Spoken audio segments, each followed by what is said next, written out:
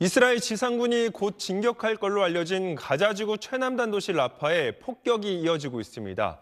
네타냐후 이스라엘 총리는 라파에 대한 공격을 비난하는 국제사회 목소리를 직접 반박했습니다. 바이든 미국 대통령은 라파 주민들의 안전을 확보하기 전에 공격해선 안 된다고 강조했습니다. 워싱턴 김용태 특파원입니다.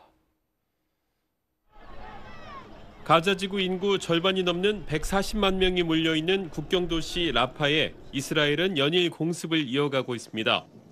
인명 피해가 늘면서 비판 여론이 커지자 이스라엘 네타냐후 총리가 미국 ABC 방송 등과의 인터뷰를 통해 적극 반박하고 나섰습니다. 승리가 눈앞이라며 이스라엘은 민간인 피해를 줄이기 위한 노력을 해왔다는 겁니다. 라파에 진입하지 말라는 것은 전쟁에서 지자는 뜻이라고 말했습니다. Those who say that under no circumstances should we enter Rafah are basically saying lose the war, keep Hamas there.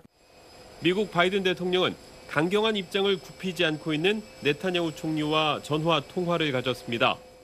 백악관은 하마스를 물리치고 이스라엘 안보를 보장한다는 공동의 목표를 재확인했다고 했지만 바이든 대통령이 주민 안전이 확보되기 전에 라파에서 군사 작전을 하면 안 된다는 뜻을 분명히 했다고 전했습니다.